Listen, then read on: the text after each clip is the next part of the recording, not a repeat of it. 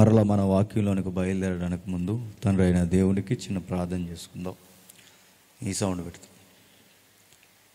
ఆ, దయచేసి దూరముగా అలా చీకట్లో నిలబడిపోయిన సహోదరులందరూ దయచేసి వచ్చి కూర్చోండి శ్రద్ధగా వాక్యం వినండి. ఈ గుంపుకు మీరు దూరంగా ఉండడం వల్ల దుష్టుడు మిమ్మల్ని వాక్యం విననివ్వడు గనక మీరు వచ్చి శ్రద్ధగా వినాలని మనవి. చిన్న ప్రార్థన. పరలోకమందుడు మా తండ్రి గతించిన రాత్రి తండ్రి మేమెంత బలహీనులమో మేమెంత భక్తిహీనులమో మీ ఎదుటి తండ్రి మా పాపపు స్థితి ఎట్లా ఉందో మీకు పిల్లలుగా కాకుండా తండ్రి మీకు మేము శత్రువులుగానే తండ్రి మిగిలిపోయామని. వాటన్నిటికీ సమాధానముగా తండ్రి. మీ కుమారుణ్ణి మీకును మాకును సంధి చేసి తండ్రి. సువార్త అనే తండ్రి ఒక అద్భుతమైన సందేశాన్ని తండ్రి. మాకు అందించి మా హృదయాలు తెరిచారని మేము నమ్ముతున్నాం. ఈరోజు కూడా దేవా అవే మాటలను తండ్రి మీ కుమారుని యొక్క త్యాగాన్ని గూర్చిన వృత్తాంతాన్ని కొనసాగించుచుండగా మాతో మా అందరితో మీరు మాట్లాడండి. మీ సహాయం లేకపోతే మేమేమి మాట్లాడలేము తండ్రి. ఏర్పాటు చేయబడిన ఈ సభలు తండ్రి మా గూర్చి చెప్పుకోవడానికి కాదు తండ్రి. మా ఘనతలు మా ఉనుకులు చాటుకోవడానికి కాదని తండ్రి. కేవలం ఒకే ఒక్కటి సిలువను గూర్చిన వార్త మా బ్రతుకులకు తండ్రి వెలుగు గనక. ఆ సిలువను గూర్చిన వార్తను మరొక్కసారి మేము నెమరవేసుకోవడానికి అన్ని విధాలుగా మేము లొంగిపోవడానికి. మీ వాక్యం అనే ఖడ్గంతో తండ్రి మమ్మల్ని కడిగి.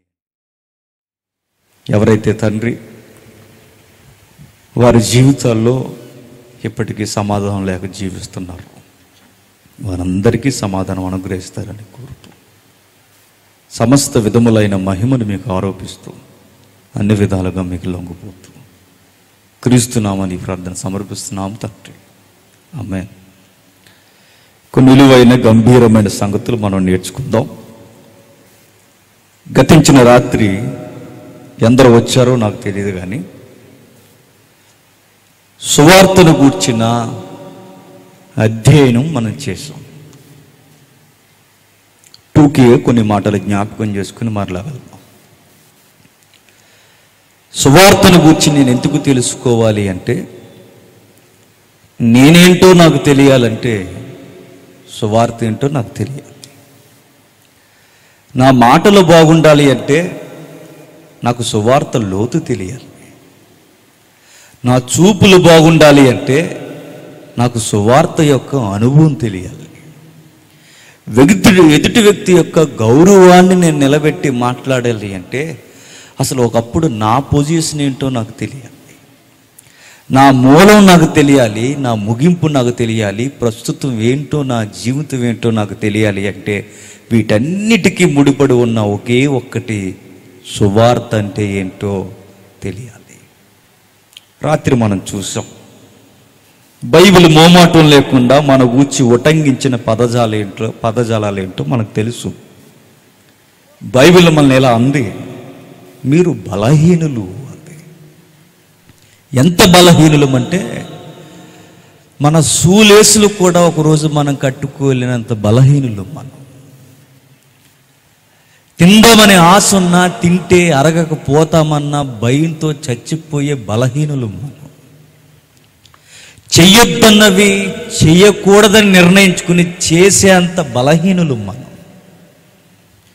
మంచి అని తెలిసినా ఆ మంచి పనులు చేయకుండా సమర్థించుకునేంత బలహీనులు మనం. ఒకవేళ తెగించి మంచి పనులు చేస్తే ఆ మంచి పనులు బట్టి మనకు గుండుపోటు తెచ్చుకునేంత బలహీనులు మనం. అలాంటి బలహీనులైన నీ కొరకు నా కొరకు మనల్ని బలవంతులు చేయడానికి మన కొరకు ఎవరు చనిపోయారని చూసాం? యేసుప్రభు చనిపోయాడు మనల్ని బలవంతులు చేయడానికి. రెండవ మాట భక్తిహీనులు నిజమే. భక్తి ముసుగులో పదాలు నేర్చుకున్నాం. భక్తి ముసుగులో వాతావరణం నేర్చుకున్నాం. భక్తి ముసుగులో వందన వచనాలు నేర్చుకున్నాం. కానీ భక్తి అంటే ఏంటో మనకి తెలీదు. పుట్టుక క్రైస్తవులు అని చెప్పుకొని బతికేస్తున్నాం. పుట్టుకతో క్రైస్తవ్యం గవర్నమెంట్ ఎంప్లాయ్ అన్నట్టు ఫీల్ అయిపోతున్నాం. నిజానికి భక్తి యొక్క అర్థాలు తెలియకుండానే భక్తులు మనం చెప్పుకొని చాలా అయిపోతున్నాం భక్తిహీనులు మనం. ఎంత భక్తిహీనులం అంటే నడినెత్తి మొదలుకొని అరికాల వరకు అన్ని విధాలుగా నా అవయవాలు దేవునికి విరుద్ధమైనంత భక్తిహీనులు మనం ఆ భక్తిహీనతను పోగొట్టి నీకు నాకు భయభక్తులు నేర్పించడానికి నీ కొరకు నా కొరకు ఒక ఆయన చనిపోయాడు. ఎవరైనా? యేసుక్రీస్తు రాత్రి చూసాం. దేవుని ఎదుట మనం ఎందుకు పనికొస్తాం? ఎందుకు పనికిరాం? దేనికి పనికొస్తాం తెలుసా? ఆయన ఉగ్రతను మీదేసుకోవడానికి తప్ప దేనికి పనికిరామని చూసాం రాత్రి మనం. మనం దేవుని పిల్లలం కాదు బైబిల్ చెప్తుంది మీరు ఉగ్రత పిల్లలు అంతే మీరు ఉగ్రతను మీదేసుకోవడానికే పుట్టారు. మనం రక్షణలో ఉన్నామన్న ఊహల కన్నా బైబిల్ మనకు చెప్తుంది మీరు ఉగ్రత కొరకే పుట్టారు. అంతకుమించి మీరు దేనికి పనిచేయరందు బైబిల్. ఆ ఉగ్రతను దూరం చేసి దేవుణ్ణి నాకు దగ్గర చేయడానికి నాకు ఎవరి వల్లనైతే ప్రమాదం ఉందో ఆ ప్రమాదానికి కారకుడైన దేవుడే నా దగ్గరకు వచ్చి నా చేతులు పెట్టుకొని స్వారీ చెప్పరా అని అడిగిన ఉగ్రతను దూరం చేసడానికి రాత్రి మనం నేర్చుకున్నాం. ఇక ఈరోజు రెండే రెండు వచనాలు మన జీవితాన్ని కుదిపేసే వచనాలు అవి చూద్దాం ఇది రోమ పత్రిక రోమిలికి రాసిన పత్రిక. అపోస్తుడైన పౌలు రోమిలికి రాసిన పత్రిక పన్నెండవ అధ్యాయం మొదట వచ్చిన కాబట్టి సహోదరుల పరిశుద్ధమును దేవునికి అనుకూలమైన సజీవ యాగముగా మీ శరీరములను ఆయనకు సమర్పించుకొనుటను దేవుని వాత్సల్యమును బట్టి మిమ్మను బతిమాలు కొనుచున్నాను ఇట్టి సేవ మీకు యుక్తమైనది. మీరు ఈ లోక మర్యాదను అనుసరింపక ఉత్తమమును అనుకూలమైన సంపూర్ణమై ఉన్న దేవుని చిత్తమేదో పరీక్షించి తెలుసుకున్నట్లు మీ మనస్సు మారి నూతన మగుట వలన రూపాంతరము పొందుడి. మనతో వచ్చిన గొడవ ఏంటో తెలుసా? మనకు తెలిసిన వచ్చినాలనుకుంటాం అనుకుంటాం మనం. తెలుగులతో వచ్చిన గొడవ ఏంటో చెప్పినా? తెలియకపోయినా అన్ని తెలిసినట్టు బతికేస్తాం మనం. తెలుగు వారు ఎలా ఉంటారో చెప్పినా? వారి యాటిట్యూడ్ ఎలా ఉంటుందో చెప్పినా? మనం ఏదైనా చెప్తున్నాం అనుకోండి ఎస్ నేను అది అనుకుంటున్నాను అంటాం మనం. మనకు తెలియదని ఎదుటోళ్ళు అనేసుకుంటారేమని తలకాయ యూపి ఎస్ ఎస్ నేను అదే అనుకుంటున్నాను అంటాం తెలుగు వారితో వచ్చిన గొడవ ఏంటంటే తెలియదని ఒప్పుకోరు. మనకు వాక్యాలు తెలుసు భావాలు తెలియదు. మనకి బైబిల్ తెలుసు బాధ్యత తెలియదు. మనకి బైబిల్ దేవుడు తెలుసు ఆయన మనస్సు తెలియదు. మనకి సిలువను గూర్చిన వార్త తెలుసు సిలువ బరువేంటో మనకు తెలియదు. మనకు తెలియదన్న మాట నేను ధైర్యంగా అనగలుగుతున్నానంటే ఇక్కడ ఉన్న ఒక పదం మనకు తెలియదని మనల్ని ఎద్దేవ చేస్తుంది చూడండి. అక్కడ ఒక పదం ఉంది చూడండి. కాబట్టి ఆగుతాం. ఏంటంటే? కాబట్టి అన్నాడు. కాబట్టి అంటే నేనే అడుగుతున్నా మిమ్మల్ని. కాబట్టి అంటే దాని ముందు ఏదో ఉంది అని విషయమంతా చెప్పుకొచ్చి కాబట్టి అన్నాడంటే ఇంతకీ ఏం చెప్పాడు? రాత్రి చెప్పాడుగా మనతో. నీ బలహీనత కొరకు ఆయన చనిపోయాడు. కాబట్టి నీ భక్తిహీనత కొరకు ఆయన చనిపోయాడు. కాబట్టి నువ్వు శత్రువువై ఉండగా నేను మిత్రుల్ని చేసుకోవడానికి ఆయన చనిపోయాడు. అందుకు కాబట్టి నువ్వు భక్తిహీనతలో నీ హృదయాన్ని చెడగొట్టుకున్నావు. నీకు నూతన హృదయాన్ని ఇవ్వడానికి ఆయన హృదయాన్ని బల్లెము చేత పొడి చేయడానికి ఒప్పుకున్నాడు. అందుకు కాబట్టి ధర్మశాస్త్రానికి నీ చూపులు నచ్చలేదు. ధర్మశాస్త్రానికి నీ మాటలు నచ్చలేదు ధర్మశాస్త్రానికి నీ నోరు నచ్చలేదు నీ కాలు నచ్చలేదు నీ చేతులు నచ్చలేదు. అరినెత్తి మొదలుకొని అరికాల వరకు నెడనెత్తి మొదలుకొని అరికాల వరకు నా దేహమంతా ధర్మశాస్త్రానికి విరుద్ధముగా ఉన్నప్పుడు నన్ను పక్కకు తెప్పి తెప్పించి ధర్మశాస్త్రానికి అడ్డుగా నిలబడి నన్ను విమోచన కలగజేసినందుకు. కాబట్టి కాబట్టి అన్న పదాన్ని పౌలు గారు ఉపయోగిస్తున్నారంటే ఇన్ని కేసుల్లో నువ్వు అక్యూజ్డ్ నేరస్తుడువి నువ్వు. నువ్వు ఏ విధముగా దేవుని ఎదుట సరితూగలేని వాడివి ఓ మానవా అంది బాయ్. నువ్వు ఏ పాటి వాడివి? ఎదుటివాడిని అనడానికైనా ఎదుటివాడిని తక్కువ చేయడానికైనా. అసలు నీ పొజిషన్ ఏంటని అడిగింది బైబుల్? అందరికి అలవాటు అయిపోయిన పదవి ఏంటి చెప్పిన? అందరూ పాపులు అన్న ఫీలింగ్ ఈజీగా నేస్తున్నావంటే ఆ లిస్టులో నువ్వు లేవనుకున్నట్టున్నావా? ఎవడు మంచోడండి అని ఈజీగా అనేస్తున్నావంటే ఆ లిస్టులో నువ్వు లేవనుకుంటున్నావా? మనలందరినీ బైబిల్ ఒకే గుంపులోకి తోసేసింది. మీరు నాకు ఎనిమీస్ అందంతే బైబిల్. నా శత్రువులు మీరు. నా పిల్లలు అనడానికి మీకు అర్హత ఏంటి? నేను పరిశుద్ధుడిని మీరు పరిశుద్ధులా? అని అడిగింది బైబిల్. నేను గుణగణాలు కలిగిన వాడిని మీకు గుణముందా? అని అడిగింది బైబిల్. నా వ్యక్తిత్వం నా నిత్యత్వం ఏ విధముగా చూసినా నాకు ఏ విధముగా సరిపోని మీరు నాకు పిల్లలు ఎట్లా అవుతారు?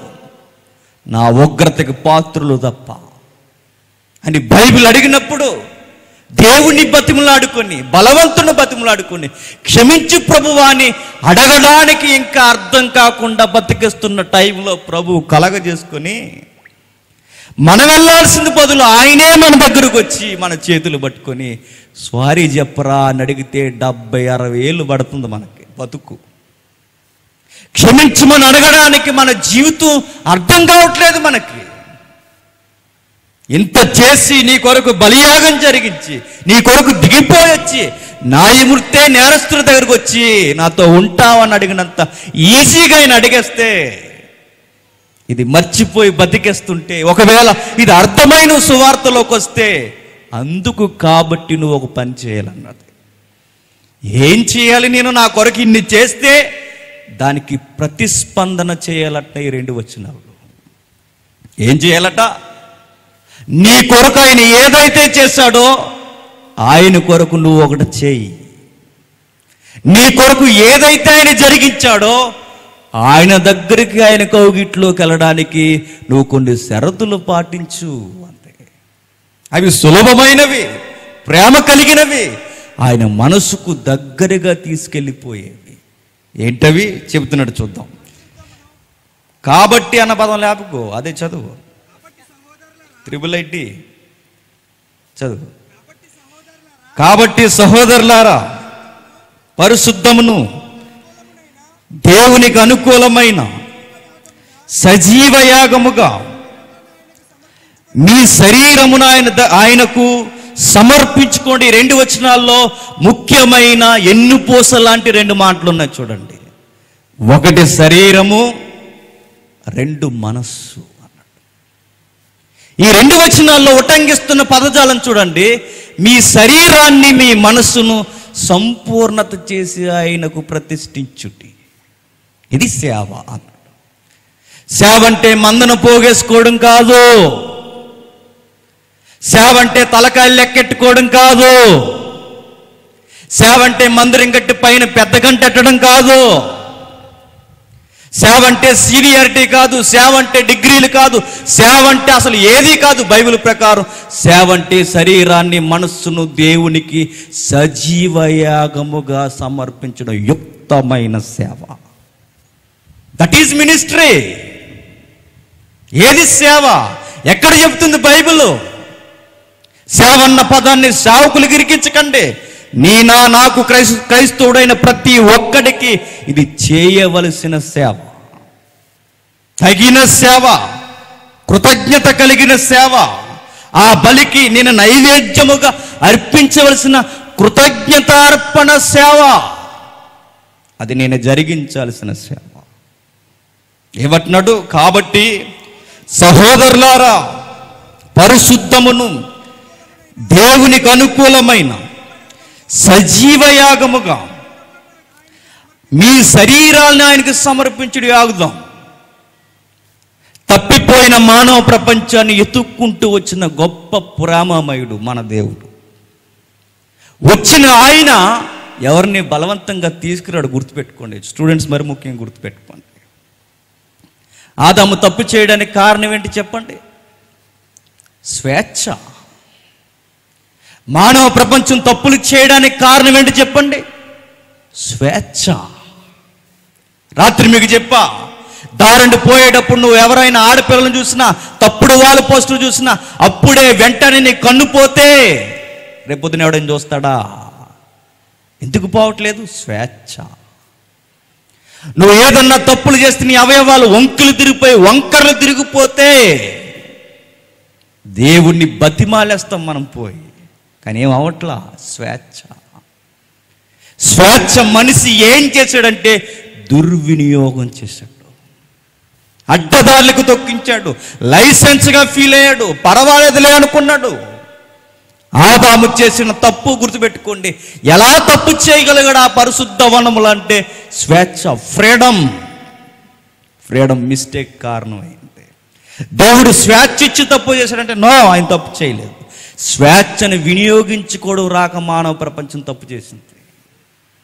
దేవుడు ప్రేమమయుడు మనుషుల్ని మరమనుషుల్లా పెట్లా అన్నీ చెప్పి ఏది మంచో ఏది చెడో ఎలా వెళితే ఏమైపోతావో ఎలా ఉంటే ఎలా ఉంటావో ఏది నిత్యత్వమో ఏది నిత్య నాశనమో ఆ రోజు నుంచి చిలక్క చెప్పినట్టు చెప్పినా మనసుకున్న బలహీనత ఏంటో చెప్పినా వద్దన్నదే చేస్తాడు రాత్రి చెప్పాం కండి ఎగ్జాంపుల్ మీకు షుగర్ వచ్చింది స్పీడ్ తిన మానే అని అనండి. ఇంకా ఆ రోజు నుంచి విపరీతమైన మోజు పెరిగిపోద్ది వాడికి దేని మీద? అంతే. మీరు ఈ దారంటే వెళ్ళినప్పుడు ఖచ్చితంగా మేము చెప్తాను. కుడివైపుకు చూడకుండా అనండి అటు చూడకుండా ఉండలేడు. పలానా మొబైల్ను వాడుతున్నప్పుడు పలానా సైట్కి మాత్రం వెళ్ళకురోయ్ అని చెప్పండి. ఆ సైట్ ఓపెన్ చేసేది వరకు అక్కడ గిలా ఆగదు. ఏదైతే వద్దంటామో అది ఖచ్చితంగా చేస్తారు. ఎలా చేయగలుగుతున్నాడు? ఆ ఓపెన్ చేస్తున్నప్పుడు ఏ పోతే? కన్ను పోతే? కాలు పోతే? ఎలా తెంచగలిగారు ఆదామవులు? వెళ్ళి సాక్షాత్తు వారి చేతులతోనే పండు ఎలా తెంచగలిగారు? స్వేచ్ఛ.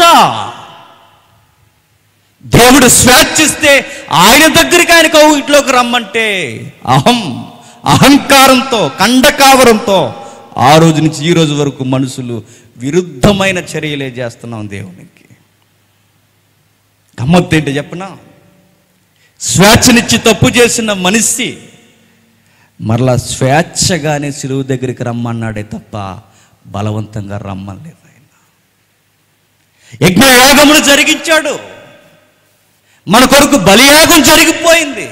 మరి ఇక్కడికి నేను ఎలా రావాలి? ఆయన ప్రేమను అర్థం చేసుకుని ఆయన పిలుపుని అందుకొని నీకు ఎంత సౌఖ్యాన్ని మరలా నీకు ఎలాంటి జీవితాన్ని ఇస్తున్నాడో అర్థం చేసుకుని ఆ స్వేచ్ఛతోనే నువ్వు ఆయన దగ్గరికి రావాలి తప్ప నిన్ను బలవంతంగా సిలువు పిలవదు.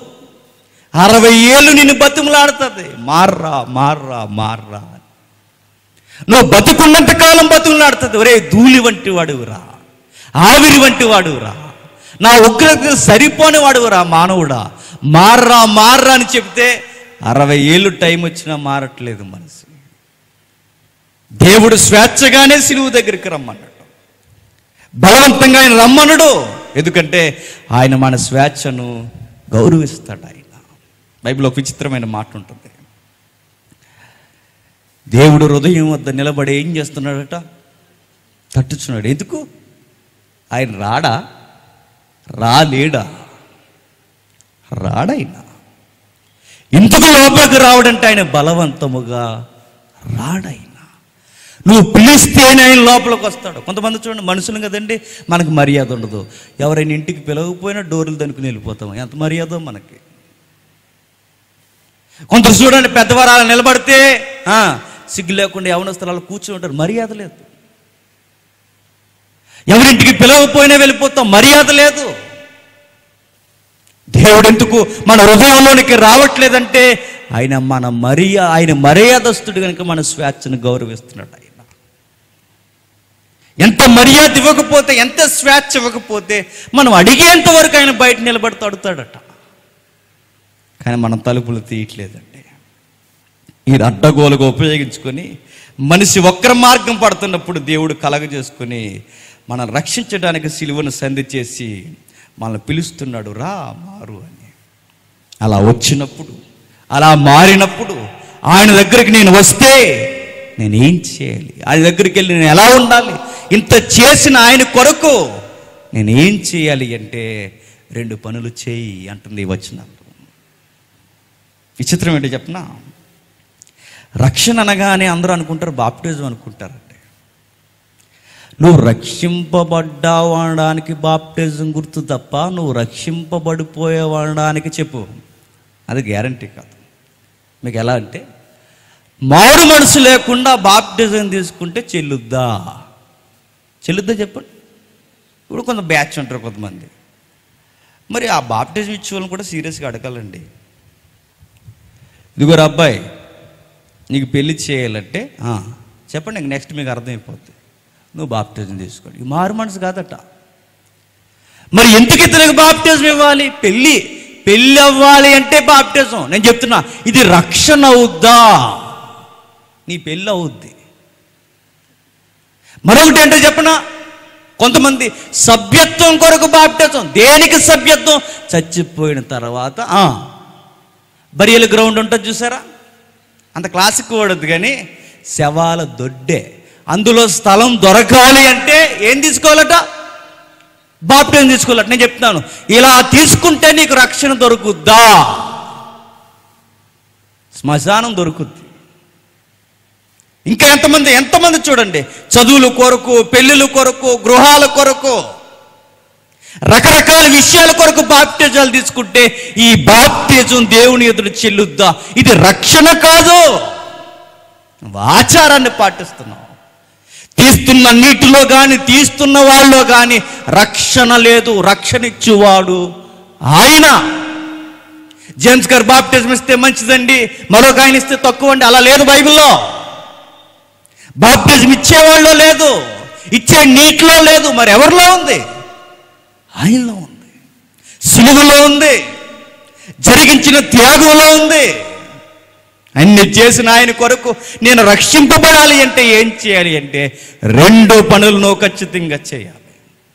ఒకటి నీ శరీరాన్ని నువ్వు ఆయన కొరకు సజీవ యాగం చేయాలి. రెండు నీ మనస్సును ఆయన కొరకు అంకితం చేయాలి. ఈ రెండు పనులు ఎప్పుడైతే ఆయన కొరకు చేస్తావో అప్పుడు అప్పుడు ఆయన రక్షణలోనికి నువ్వు వస్తావంటే గమ్మత్తు ఏంటో చెప్పనా? మనిషి అన్నవాడు కనబడుతున్నవాడు కాదు. ఈ రెండు వచనాలు డబల్ డబల్ లైఫ్ చూపిస్తుంది చూడండి. రెండు వ్యక్తిత్వాలు రెండు జీవితాలు చూపిస్తుంది చూడండి. మనం బయటికి కనిపిస్తున్న యాటిట్యూడ్ అంతా ట్వంటీ పర్సెంటే అసలు వ్యక్తిత్వం ఎక్కడుంటే చెప్పండి. లోపల ఉంటుంది. అప్పుడప్పుడు అంటారు చూసారా? ఇన్ని రోజులు నేను చాలా మంచోడు అనుకున్నా వచ్చాడు ఇప్పుడు అసలుడు బయటికి. నీకు అర్థమవుతుందా? బయటికి కనిపిస్తున్నది ట్వంటీ పర్సెంటే. ఈ రెండు విషయాలు బైబిల్ నొక్కుతుంది. బయట నువ్వు ఎలా ఉండాలో చెప్తుంది. లోన నువ్వు ఎలా ఉండాలో చెప్తుంది. ఈ రెండు చేసిన వాడు ఆయనకు ప్రతిస్పందనగా ఇలా చేస్తే నువ్వు కృతజ్ఞత అర్పణిచ్చిన వాడు బైబిల్ స్లాంగ్ మీకు తెలిస్తే బైబిల్లో దేవుడు మనకి ఏదన్నా మేలు చేస్తే ఆ మేలుకి థ్యాంక్స్ గివింగ్ తెలియజేయడం ఎలా తెలుసా? దానికి కృతజ్ఞత బలి ఇవ్వడం. క్రొత్త నిబంధనలో కృతజ్ఞత బలి ఏంటో తెలుసా? ఇక జంతువు కాదు మేక కాదు కోడి కాదు పక్షి కాదు. మరి కృతజ్ఞత బలి ఏంటి అంటే నీ శరీరము నీ మనస్సే కృతజ్ఞత అర్పణ. ఇప్పుడు నువ్వర్పణ. కానీ మనకేం అర్థమైంది చెప్పండి? ఆదివారం వచ్చి దేవుని దగ్గరికి హాయ్ అని వెళ్ళిపోతాం మనం. అయి ప్రభు ఎలా ఉన్నావు? అని. కొంచెం ఏమైనా అడావుడిగా ఉంటే కొంచెం ఒక పాట పాడేస్తాం మనం. ఆ తర్వాత ఇంకా అడావుడిగా ఏమన్నా ఉంటే కొంచెం అలా ఇలా యాక్టింగ్ చేస్తాం. మళ్ళీ గేట్ దాటే చూడండి. మళ్ళీ నీకు మళ్ళీ ఆదివారం వరకు ఆయన గుర్తున్నాడు ఆయన. నేను అనుకుంటానండి అప్పుడప్పుడు మనకన్నా అన్యులే బెటర్ అనిపిస్తుంది. ఎందుకు చెప్పనా? వాళ్ళు ప్రతిరోజు వాళ్ళకు గుడి వాళ్ళకు ఒక గది ఉంటుంది ఇంట్లో దేవుడి గది. రోజు చూస్తారు వాళ్ళ దేవుణ్ణి. వాళ్ళు అనుకుంటూ కానీ మనం ఎప్పుడు చూస్తాం? ఆదివారం వస్తేనే చూస్తాం మనం. ఎవరు బెటర్ చెప్పండి? భక్తి తెలియక సరి అయిన దేవుడు తెలియకపోయినా ఉదయం లేచి సాయంత్రం లేచి అవగాహన లేకపోయినా దండం పెడుతున్న వాడుకున్న ఇంకిత జ్ఞానం నీకు లేదు. ఆ ఆదివారం వచ్చిన తర్వాత అడావుడి బ్యాచ్ కొంతమంది ఏం చేస్తారు? చెవ్వరిని కూర్చుని మొబైల్ చూసుకునేవాడు ఒకడు. అక్కడి నుంచి అక్కడికే మెసేజ్ పెట్టుకునేవాడు ఒకడు. అక్కడే మరలా ఫోన్ వస్తే పాస్టర్ గారు ఏడ్చి చెప్పినాడు అనవసరం. ఆడు ఫోన్ ఎత్తాడు అంతే ఇక. నీకు ఎన్ని అయిపోయినా అనవసరం. నీకు అక్కడ ప్రభురాత్రి భోజనం జరుగుతున్నా టిక్ మని నీకు మెసేజ్ వస్తే వెంటనే ఓపెన్ చేసి చూడాల్సిందే. ఫేస్బుక్లో కూడా నీకు ఎన్ని లైకులు కొట్టారో నువ్వు చర్చిలో కూర్చున్నా చూడాల్సిందే. అంత అడవడు నీకు. ఇది మన భక్తి. ఇది మన వ్యక్తిత్వం. కాదా చెప్పండి? సిగ్గు లేకుండా దేవుడు ఎదుటి మనం చేస్తున్న యాసాలు ఎన్నో తెలుసా? ఇంత బలియాగం జరుగుతున్నా ఇంత బలియాగం జరుగుతున్నా. మీరేం థ్యాంక్స్ చెప్తున్నారు ఆయనకి? మీ కృతజ్ఞత ఏంటి ఆయనకి? కృతజ్ఞత అంటే తలో పరక ఇచ్చేయడమో ఏదో కానుక ఇచ్చేయడమో ఏదో భోజనాలు పెట్టడం అనుకోకండి. సిలువకు సరి అయిన కృతజ్ఞత నువ్వే రావాలి నువ్వే రావాలి. స్వేచ్ఛగా రావాలి ప్రేమతో రావాలి ఆయన కౌగిట్లోనికి రావాలి. అది ఆయనకి థ్యాంక్స్ చెప్పడం అంటే. చెప్తున్నాడు చూద్దాం. కాబట్టి సహోదరులారా పరిశుద్ధమును దేవునికి అనుకూలమైన సజీవయాగముగా మీ శరీరములను ఆయనకు సమర్పించుకోండి ఒక మాట అడుగుతున్నాడు. మనకు రైట్ మోడల్ ఎవరు చెప్పండి బైబిల్లో? మెస్సయ్య యేసుక్రీస్తే. బయట ఉన్న మోడల్ ఏమి నేర్పిస్తారు? బట్టలు ఎలా వేసుకోకూడదు నేర్పిస్తారు వాళ్ళు. పొట్టు బట్టలు ఎలా వేసుకోవాలి? సిరిగిపోయిన సొక్కాలు ఎలా వేసుకోవాలి? అది వాళ్ళు నేర్పించే మోడల్. మీరు ఆ మోడల్ చూడకండి. యేసుక్రీస్తు అనే మోడల్ ఏం చూపిస్తాడంటే నువ్వు దేవునికి థ్యాంక్స్ చెప్పాలి అంటే ఈ వచ్చిన ప్రకారం ఏమంటున్నాడు శరీరము ద్వారా ఆయనకి థ్యాంక్స్ చెప్పు అంటున్నాడు. ప్రభు అది ఎలా నాకు అర్థం కావట్లేదంటే నాలాగు చెయ్యి అంటాడు ఆయన. నేను ఎలా అయితే పరలోకమందున్న తండ్రికి నేను థ్యాంక్స్ గివింగ్ తెలియచేశానో నువ్వు అలాగే చేయి అన్నాడు ఎలా చేసావు ప్రభు అంటే క్రైస్తవులు కూడా పాటలు రాసుకున్నారు కానీ రాంగ్ థియాలజీలో కొన్ని పాటలు రాశారండి. యశుప్రభుని వర్ణించారు ఆయన దీనత్వాన్ని గురించి. కానీ రాంగ్ మెథడ్ రాంగ్ థియాలజీలో వెళ్ళింది బండి. ఎలాగో చెప్పిన? బాలసుబ్రహ్మణ్యం గారు ఒక పాట పాడారు. ఎంత దేనాతి దేనమో అన్న పాట. మంచిదే కాదంటలేదు. కానీ ఎంత దేనాతి దీనమో అంటూ ఎలా చూశారు ఆయన దీనత్వాన్ని అంటే పరలోకమందున్న ప్రభు పశువులు పాకులో పరుండు పెట్టుకోడు ఎంత దీనత్వం అన్నారు. ఆ మాట అడగను నేను. ఆయన పశువులు పాకులో పరుండ పెట్టబడిన అంతఃపురంలో పరుండ పెట్టబడిన ఆయనకున్న తత్వం ఏంటో చెప్పిన ఆయన దీనుడే. అర్థం కాలేదు కదా మనతో వచ్చిన గొడవ ఏంటంటే మనకు అర్థం అవుతుంది వాక్యం ఏంటో మరి. జడ్పీటీసీ ఎలక్షన్లు అర్థమయ్యాయి మీకు? నాకు అర్థం అవ్వలేదండి నిజంగా చెప్తున్నాను. అయినా డ్యూటీ చేసి వచ్చాను నేను నేను ఓపెన్గా చెప్తున్నాను నాకు అంతగా అర్థం అవ్వలేదు. ఈ మెయిన్ ఎలక్షన్స్ ఏవైతే ఉన్నాయో చెప్పగలను కానీ జడ్పీటీసీ ఎంపీటీసీ ఈ జిల్లా ఎలక్షన్స్ ఏవైతే ఉన్నాయో ఈ పంచాయతీ నాకు అర్థం అలా తప్పక ఏం చేస్తాం మరి డ్యూటీ చేయలేక. ఇవన్నీ మనకు అర్థమవుతాయి ఇంకా విచిత్రం ఏంటి చెప్పనా? ఇంకా ఓట్లు పడలేదు ఏం పడలేదు ఎవడు ఇన్ అయిపోతాడు కూడా అంత అర్థమైపోతుంది మనకి. బాగా ఇచ్చుకున్నట్టు వాడి దగ్గర. అన్నీ అర్థమైపోతాయి అన్నీ అర్థమవుతాయి. ఇంకా మూవీ రిలీజ్ అవ్వదు ఇట్టా పట్టా అప్పుడే చెప్పేస్తాం మనం. అంటే సైలెంట్గా చూసే కిల్లర్లు ఉంటారులేండి. క్రైస్తవులు ఎవరు ఏం మానరు తెలుసు బైబిల్ చెప్తుందిగా ఏమీ మానరు. సినిమాలు మానరు శిఖార్లు మానరు అలవాట్లు మానరు.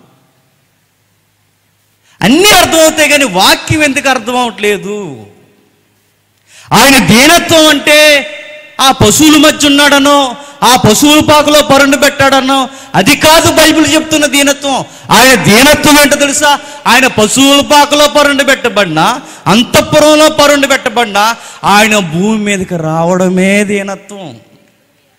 ఆయన మనిషిగా పుట్టడమే దీనత్వం.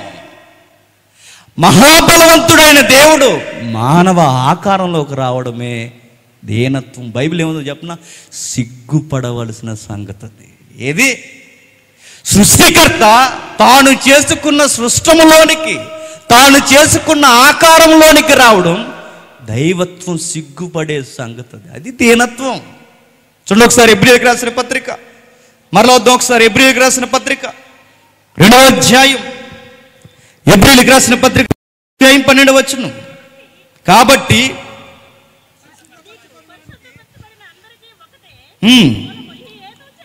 ఈ ఏతువు చేత వారిని సహోదరులను పిలుచుటకు ఆయన సిగ్గుపడక సిగ్గుపడక సిగ్గుపడక సిగ్గుపడక అన్నాడంటే సిగ్గుపడే విషయం అది. మనల్ని ఆయన సహోదరులని పిలవడం సిగ్గుపడే విషయం అంటే బైబిల్ అంటుంది. ఎస్ ఆయనకు నువ్వు సహోదరుడు వేటి నువ్వు దుర్మార్గుడివి.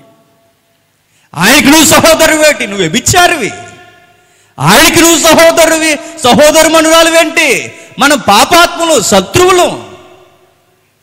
ఒక విధముగా ఆయనకి ఏ బంధం ఉందంటే శత్రుత్వం తప్ప ఆయనకి మనకి ఏమీ లేదు. ఆయన సిగ్గుపడకండి అన్నాడట. మీరు బ్రదర్స్ అండ్ సిస్టర్స్ అన్నాడట. నా ప్రియమైన తమ్ముళ్ళు నా ప్రియమైన చెల్లెళ్ళు నా ప్రియమైన సహోదరులు అన్నాడు దైవం మానవ ఆకారంలోకి వచ్చి మనతో బంధాన్ని కలపడమే. అదొక విచిత్రం. అదే దీనత్వం. దీనత్వం అనగానే పశువుల పాకలో ఉండడం దీనత్వం అనగానే గొర్రెల మధ్య తిరుగుడు. ఇది కాదు అది కాదని అంట్లా. కానీ అంతకన్నా ముందడుగు అంతకన్నా లోతైన అడుగులు అంతకన్నా బైబిల్ చెప్తున్న ఒక వెలుగు. ఆయన దీనత్వం నీలా నాలా భూమి మీదకి రావడమే దీనత్వం. ఇదే అధ్యాయంలో ఆరో వచ్చిన ఏమైనా తెగించి రాశాడు చూడండి. పాత వచనాన్ని ఉపయోగిస్తూ. అయితే ఒకడు ఒక చోట ఇలాగ దృఢముగా సాక్ష్యమిచ్చను. నీవు మనుష్యుని జ్ఞాపకం చేసుకున్నటకు వాడు ఏ పాటు వాడు? నీవు నరపుత్రుని దర్శించుటకు వాడు ఏ పాటి వాడు? నీవు దేవదూతల కంటే వాణిని కొంచెం తక్కువ వానిగా చేసితివి ఏమంటున్నాడు చూడండి. మనుష్యుని జ్ఞాపకం చేసుకోవడానికి నరపుత్రుని దర్శించడానికి దేవుడు దర్శించడానికి నరపుత్రుడు ఏ పడివాడు? దేవుడు ఇక్కడికి రావడమే గ్రేట్ అయితే దేవుడి దగ్గరికి మనిషి వెళ్ళడమే అసాధ్యమైతే అలాంటి ఆయన భూమి మీదకి వచ్చి ఏమన్నాడట? నా సహోదరుడా అన్నాడట. ఇది వింత. ఇది దీనత్వం ఇది ప్రేమ. అలాంటి ఆయన ఏమి నేర్చుకోవాలి సజీవ యాగముగా నా శరీరాన్ని సమర్పించడం అంటే ఆయన నేర్పిస్తున్నాడు మనకు పాఠం.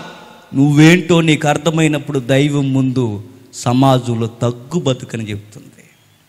ఎలా బతకాలట? ఆయన కొరకు నేను అన్నీ తగ్గించుకోవాలట. సువార్తలున్న రమ్యమైన పదజాలం ఏంటంటే దేవుడే దేవుడికి వస్తే నీకేముంది అతిశయించడానికి. మనకి ఏముంది చెప్పండి అతిశయించడానికి? మనకు మాట్లాడితే మన తాతలు గుర్తొస్తారు మనకి. ఎవరు గుర్తొస్తారు? మా తాత ఇదిగో ఇక్కడి నుంచి అండి? ఆ ఎకరం ఆ చివరి వరకు. ఎందుకు? ఇన్ని ఎకరాలు మీ తాత ఎక్కడ ఉన్నాడు అరుమూళ్ళేగా ఉన్నాడు. రేపొద్దు నువ్వు పోతే ఎక్కడికి పోతావు? మీ తాత పక్కగా పోతావు. ఇది అతిశయించవలసిన విషయమే చెప్పండి. అసలు మీ తాతకేంటి? నీ తాతకి నా తాతకి మన ముత్తాతకి ఈ భూమినే ఇచ్చాడు. ఎక్కడికి పోయాడు? శ్మశానంగా పోయాడు. అతిశయించాల్సింది. ఏమీ లేదు. భూమిని చూసి అతిశయించడానికి బలాన్ని చూసి అతిశయించడానికి మన తెలివితేటలు చూసి అతిశయించడానికి ఏమీ లేదు. నేను ఏమన్నా అతిశయించాల్సింది ఏమన్నా ఉంటే నా సిలువయందు అతిశయించి ఆయన ముందు తగ్గిపోవడం తప్ప ఆయన ముందు లొంగిపోయి అదే నాకు అతిశయం తప్ప అంతకు మించిన అతిశయం నాకేమీ లేదంటుంది బైబిల్. శరీరాన్ని సజీవ యాగముగా శరీరాన్ని సజీవ యాగముగా ఆయనకు సమర్పించుకునుడి. అని దేవుని వాచ్యలమును బట్టి మిమ్మును బ్రతిమాలు కొనుచున్నాను శరీరము శరీరము శరీరముతో సేవట. గ్రీకులకు పదం వాడాడు ఇక్కడ. లాండ్రియా. సజీవయాగముగా సజీవయాగముగా మీ శరీరములను ఆయనకు సమర్పించుకొనడి. ఇక్కడ ఒక పదవి ఏంటో చెప్పిన? ఈ మూలార్థం ఇక్కడ సేవ అని ఇక్కడ వాడాడు కానీ గ్రీకులో వచ్చే అర్థం ఏంటో చెప్పిన? ఆరాధన చెయ్యండి అన్నాడు. దేవునికి ఈ విధముగా ఆరాధన చెయ్యండి. మనం ఏమనుకుంటామండి ఆరాధన అంటే? పాటలు పాడడం అనుకుంటాం మనం. పాటలు పాడడం ఆరాధన అంటే అది ఆరాధన కాదని అన్న కానీ కానీ దేవుడు కోరుకునే ఆరాధన అంత ఎత్తుకు అది రాదు. బైబిల్ మాట్లాడుతుంది సేవ అన్న దగ్గర మూలార్థం ఏం చెప్తుందంటే ఇదిగో ఆరాధన చెయ్యండి ఆరాధన చెయ్యండి. పాటలు పాడడం ఆరాధన అనుకుంటే నేను చెప్తున్నాను అందరూ అబద్ధికులే. దొంగలందరూ ఎక్కడ ఉన్నారో చెప్పిన? పాటలు పాడే దగ్గర ఉంటారు. నేను మా మాటలు చెప్తున్నా. ఏడబ్ల్యూ టోజర్ ఏడబ్ల్యూ టోజర్ అని ఒక ఎవాంజలిస్ట్ ఉన్నాడు క్రైస్తవ ఎవాంజలిస్ట్ మీరు నెట్లో చూడండి ఇంటికి వెళ్ళిన తర్వాత. ఆయన ఏమన్నాడు తెలుసా? క్రైస్తవులందరూ అబద్ధాలు ఆడరట. అబద్ధాలు ఆడరట. మరి ఏం చేస్తారు? చక్కగా సన్నటి స్వరాలతో పాడతారట. ఎలాగ చెప్పనా? ఆరాధింతు నిన్నే ఆరాధింతు నిన్నే అని ఆదివారం ఇంటికి వెళ్ళిపోయి ఎవరిని ఆరాధిస్తావు? నిజం చెప్పు. ఆరాధింతు నిన్నని పాటెత్తుకున్న నీవు నీ లైఫ్లో నువ్వు ఇంటికి వెళ్ళిన తర్వాత నువ్వు చేసే ఆరాధన ఏంటి? టీవీకి చేస్తావు నువ్వు ఆరాధన. నీ మొబైల్కి చేస్తావు ఆరాధన. నీకు ఇష్టమైన అందానికి చేస్తావు నువ్వు ఆరాధన. నీ తిండికి చేస్తావు ఆరాధన. నీ బట్టకు చేస్తావు ఆరాధన. నీ కోరికలకి చేస్తావు ఆరాధన. నీ పాట రైట్ అయినా పాడిన నీవు మాత్రం రాంగ్ అబద్ధికుడు నువ్వు. దేవ సమస్తము సమర్పించేస్తున్నానంటావు. అద్రూపయవో దేవుని సేవకు అబద్ధం పాట నీదంతా. ఇదిగో ప్రభు ఉన్న పాటను వచ్చేస్తున్నానంటావు. మీటింగ్ ముందు రారంటే రావు. ప్రార్థనకి వెళ్తాం సువార్త చేద్దామంటే అస్సలు ఖాళీ లేదు బ్రదర్. ఈరోజు ఆఫీస్కి వెళ్ళిపోవాలి అంటాం. ఇదిగో వచ్చేస్తున్నాను పాట పాడు దేవా అబ్రహాం కుమారుని అడిగావు. వెయ్యి వెయ్యి పొట్టేళ్ళని అడిగావు. వెయ్యి నదులు తైలు ఇచ్చేస్తాను నీకు పొట్టేళ్ళు ఇచ్చేస్తాను. ఒకటి అని అడగండి ఒక పొట్టేలు ఎవరైనా అడగండి. ఈ వారం సంఘాసులు భోజనాలు భోజనాలు పెడుతున్నాం మేకనేస్తావని అడగండి. డబ్బులు లేవండి అంటాం. మరి పాట పాడేస్తాం? అబద్ధం! ఏడబ్ల్యూ టోజర్ అదే అన్నాడు. క్రైస్తవులు అబద్ధాలు ఆడరు. పాడతారు చక్కగా. ఊగుతారు చక్కగా. ఊగిపోయి మనల్ని ఊపేస్తారు చక్కగా. ఇంకా ఈ మధ్య రాసేస్తున్నారు చక్కగా. ఏం చెప్పనా? అబద్ధాలు రాస్తున్నారు అబద్ధాలు పాడుతున్నారు. క్రైస్తవులు చక్కటి స్వరాలతో అబద్ధాలు పాడుతారు. జరిగించరు. దేవునికి ఆరాధన జరిగించరు. ఆరాధన అంటే బైబిల్ పాటలని చెప్పలేదు. ఆరాధన అంటే బైబిల్ ఏం చెబుతుందంటే నీ శరీరముతో ఆయనకు ఆరాధన చే ఎలా ప్రభు అంటే నీ పనుల ద్వారా నీ పనుల ద్వారా. శరీరం ఏం చేస్తుందండి? పనులు చేస్తుంది. నువ్వు ఏ పని చేసినా నువ్వు ఎలా ఉన్నా నువ్వెక్కడ పని చేస్తున్నా నీ పనుల ద్వారా ఎవరికి ఆరాధన జరగాలి? దేవునికి ఆరాధన జరగాలి. చదువుతున్నావా? ఆ చదువు ఎవరి కొరకు చదువుతున్నావు? దేవుని కొరకు చదవాలి. ఉద్యోగం చేస్తున్నావా? ఆ ఉద్యోగం దేని కొరకు చేస్తున్నావు? మా ఆవిడ కొరకు చేస్తున్నావు అనకూడదు దేవుని కొరకు చెయ్యాలి. నువ్వేదన్నా కూలి పని చేస్తున్నావా? ఆ పని ఎవరి కొరకు చేస్తున్నావు? తింటున్నావా? చూస్తున్నావా? ఒక న్యూస్ పేపర్ చదువుతున్నావా? మొబైల్లో ఏమన్నా చూస్తున్నావా? ఏదన్నా చదువుతున్నావా? ఏ పని చేసినా నీ పనుల ద్వారా దేవునికి ఏం జరగాలి? ఆరాధన. నా యజమాని పైన ఉన్నాడు ఆ తప్పుడు సీరియల్స్ నేను చూడను. ఆరాధన. నా యజమాని పైన ఉన్నాడు ఆ తప్పుడు సినిమాలు నేను చూడను. ఆరాధన. పలానా వారు జాబ్ చేస్తున్నప్పుడు పిలుస్తారు రారా సాయంత్రం పార్టీ ఉంది తిందాం తిరుగుదాం అంటారు.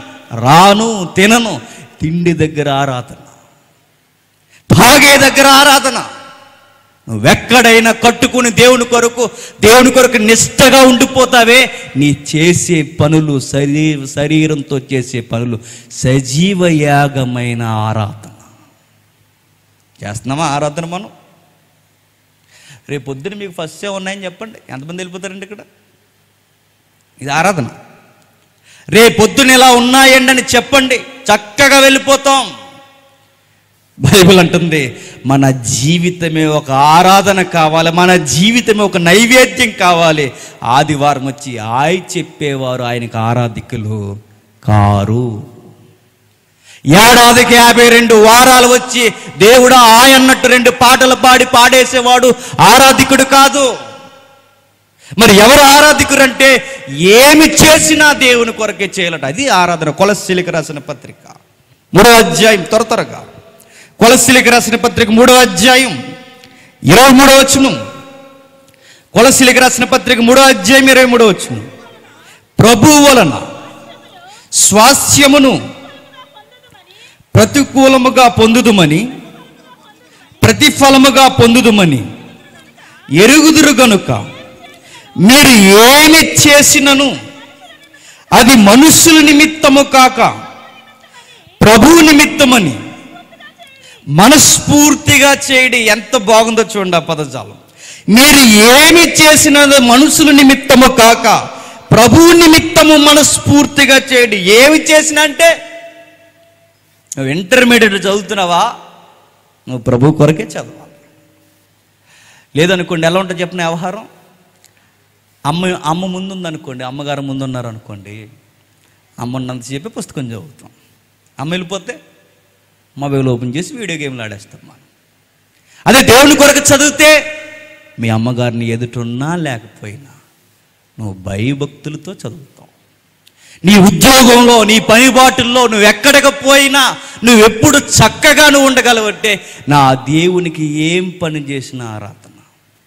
నేను ఓపెన్గా సిగ్గు లేకుండా ఒక మాట అంటున్నానండి నిజంగా సిగ్గు లేకుండానే అంటున్నా పబ్లిక్ టాయిలెట్స్కి వెళ్ళినప్పుడు పబ్లిక్ టాయిలెట్స్ ఉంటే గవర్నమెంట్ టాయిలెట్స్ అవి బయటకు వెళ్ళినప్పుడు. తప్పక అందులోకి మన టాయిలెట్కి వెళ్తాం మనం. వెళ్ళినప్పుడు సహజంగా చూడండి ఆ ప్రెస్ చేయాలనిపించదు వాటర్ని. ఎందుకు? కొంచెం శుభ్రత ఉండదు కనుక. మనం వెళ్ళొచ్చిన తర్వాత అక్కడ వాటర్ కొట్టాలనిపించదు. వెళ్ళి వచ్చేస్తాం మనం. నా గుండెని ఎదుర్కొన్న ప్రశ్న ఏంటో చెప్పినా నేను ఓపెన్గా చెప్తున్నాను సిగ్గు లేకుండా.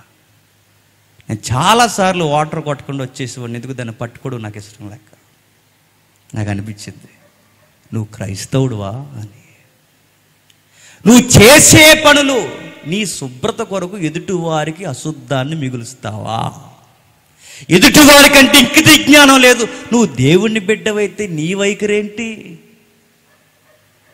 మీరు ఏ పని చేసినా మరలా అడుగుతున్నా మీరు ఏ పని చేసినా మీరు ఎక్కడున్నా అవి చిన్నవైనా పెద్దవైనా మీరు ఎలా ఉన్నా నా దేవునికి నేను ఈ పనిలో ఏం మహిమను తెస్తున్నాను?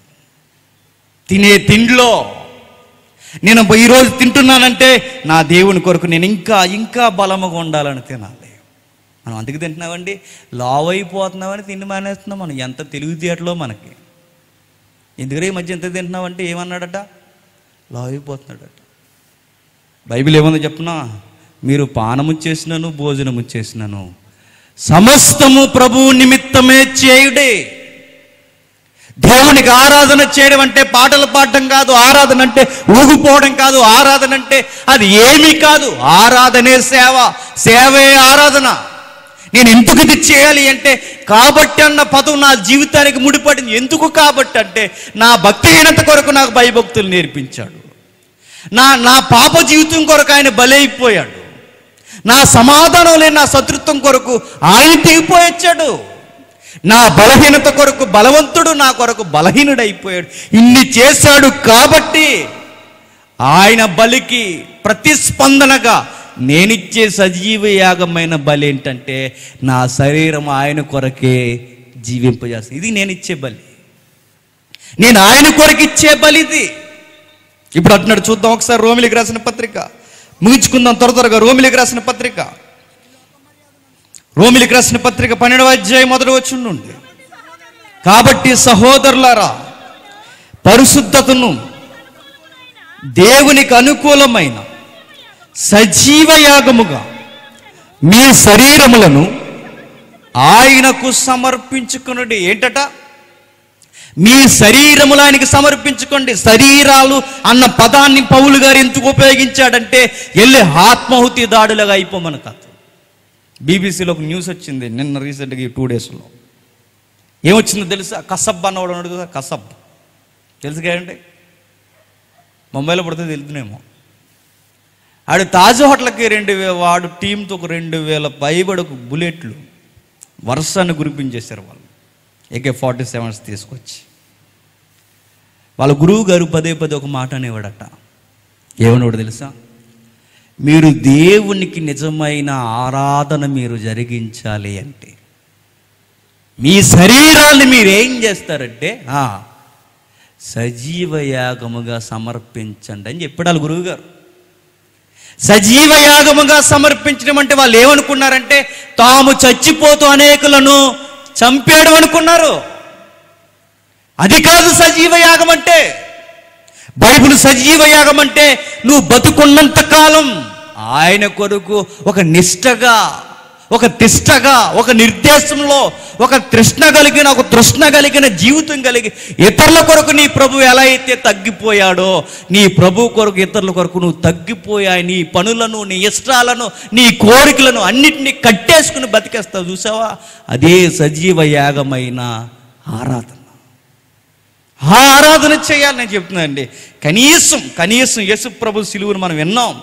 యేసు శిలువు సిలువు ఈ రోజు కాదండి మనం పుట్టక ముందు నుంచి. రెండు వేల సంవత్సరాల నుంచి మన తాతల తాతల దగ్గర నుంచి నీ కొరకు నా కొరకు యేసు చనిపోయాడని చెప్తున్నారు. ఎవరు వచ్చినా అదే చెప్తారు. ఎలాంటి బోధకుడైనా అదే చెప్తాడు. ఇంత ఎన్న తర్వాత కనీసం ఆయన కొరకు మీరు ప్రతిస్పందనగా కృతజ్ఞత బలి ఏమిచ్చారంటే ఏమి ఇవ్వలేదు. కనీసం నేను అడుగుతున్నాను అబద్ధాలు ఆడమైనా మానేశారా? మానేసామండి మనం? అస్సలు మానం మనం. అబద్ధాల మానం వంకర చూపుల మానం తప్పుడు నిర్ణయాలు మానం పరాయి స్త్రీలను పరాయి పురుషులను చూడడం మానం. ఏది మానం? నేను చెప్తున్నాను ఏదయ్యా నువ్వు థ్యాంక్స్ గివింగ్ ఎక్కడుంది నీ జీవితంలో దేవునికి? ఎక్కడా లేదు నీకు. పైగా నువ్వేదో పరిశుద్ధుడు అన్నట్టు పైగా నువ్వేదో ఉత్తముడు అన్నట్టు బైబిల్లో వచ్చిన వాళ్ళు ఉటంకిస్తూ ఎవడు పుణ్యాత్ముడు అంటూ ఎదుటివాడిని తక్కువ చేస్తూ ఎదుటివాడిని బాధ పెడుతూ ఎదుటి వారిని హేళన చేస్తూ బాధపడుతూ నీకున్న అర్హత ఏంటని బైబిల్ అడుగుతుంది. బైబిల్ ఒకటే ఒకటి అడుగుతుంది. నీ ప్రభు శరీరాన్ని ఎలా సమర్పించాడో చూడు. ఆయన్ని మోడల్గా పెట్టుకో. ఆయన దేవుని కొరకు దీనుడైపోయాడు. నువ్వు కూడా ఏమైపోవాలి? దీనత్వం కలిగి జీవించాలట. అంటే అసలు అంబులుగా దిగిపోయి బతకడం మనకు తెలుసండి? క్రైస్తవులమైనా మనం అంటాం. ఇప్పుడే ప్రార్థనకి వెళ్ళి వచ్చిన గడ్డ వదిలేహని నిన్న అంటాం. బా ఎంత దీనత్వం. చూసారా?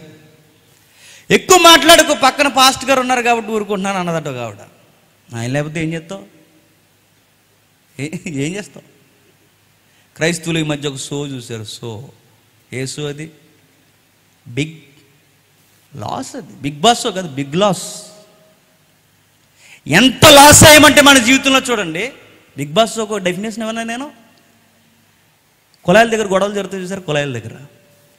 ఈ కుళాయిల దగ్గర జరిగే గొడవలు కొంచెం క్లాస్గా గదిలో జరుగుతాయి. అదే బిగ్ బాస్ నీకు అర్థమైతే ఇక ధన్యత ఇక. కుళాయిల దగ్గర జరిగే గొడవ స్టైల్గా రూమ్ కట్టుకుని అందులో వీడియోలు పెట్టుకుని గొడవలు పెట్టుకుంటారు చూసారు? అది బిగ్ బాస్ అది బిగ్ లాస్ అది మనకేం నేర్పిస్తుంది? ఆ మాత్రం గొడవ మా కులాయి దగ్గర నేర్పిస్తున్నారు. వాళ్ళ బాత్రూమ్కి వెళ్తే మాకెందుకు? వాళ్ళు స్నానం చేయకపోతే మాకెందుకు? వాళ్ళేదో కొట్టుకుంటే మాకెందుకు? వాళ్ళేదో తిట్టుకుంటే మాకెందుకు? ఈ లాస్ అంతా తేలికరంటే నీ లైఫ్ లాస్ అయిపోవడానికి అంతే ఇక. బైబిల్ అడుగుతుంది నువ్వు టైం వేస్ట్ చేస్తే ఇలాంటి పిచ్చి పిచ్చి యాసలన్నీ వేసి దేవుడు అంటున్నాడు ఏది నీ ఆరాధన? దేవుడు అడుగుతున్నాడు నీ శరీరాన్ని నా కొరకే నువ్వు తిన్నా త్రాగినా మాట్లాడినా ఆలోచించినా చూసినా ఎక్కడికి పోయినా ఉద్యోగం చేసినా చదువుకున్నా కట్టుకున్నా పిల్లలకైనా ఏం చేసినా నా కొరకు నువ్వు సజీవ యాగముగా జీవించాలి అన్నాడు. ఎందుకు నేను జీవించాలంటే నా కొరకు ప్రభువా నువ్వేం చేసావంటే మనసుని ఆకారం ధరించుకొని దాసుని స్వరూపంలోకి వచ్చేసి నిన్ను నువ్వు వృత్తిని అంటే దాని అర్థం ఏంటి చెప్పిన నా కొరకు జీరో అయిపోయావు. నువ్వు జీరో గ్రాఫ్కి దిగిపోయావు.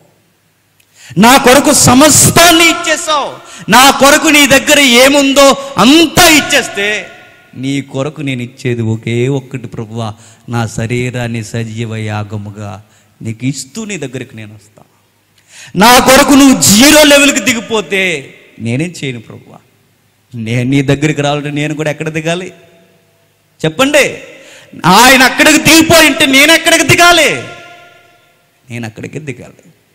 సువార్త మనకు ఫస్ట్ లైన్ కూడా అర్థం అవ్వలేదు అనడానికి కారణం ఏంటో చెప్పనా? నీ మాటలే చెబితే నువ్వు సువార్త అర్థం అవ్వలేదండి. నువ్వు ఎదుటి వాళ్ళ మీద ఎగురుతున్నావే? అదే చెప్తుంది నువ్వు క్రైస్తవుడు అయినా నీకు సువార్త అర్థం అవ్వలేదండి. నువ్వు ఎదుటి వారిని క్యారెక్టర్లెస్ అంటున్నావే? అదే చెప్తుంది నీకు సువార్త అర్థం అవ్వలేదండి. ఎందుకో చెప్పనా? అర్థమైన వాడు సువార్తను అర్థం చూడు తగ్గుతాడు. ఫస్ట్ లైనే అది. అర్థం కాని వాడు ఎగిరెగిరి పడతాడు బైబిల్ అంటుంది. ఫలములు బట్టి చెట్టెట్టుతో చెప్పొచ్చట.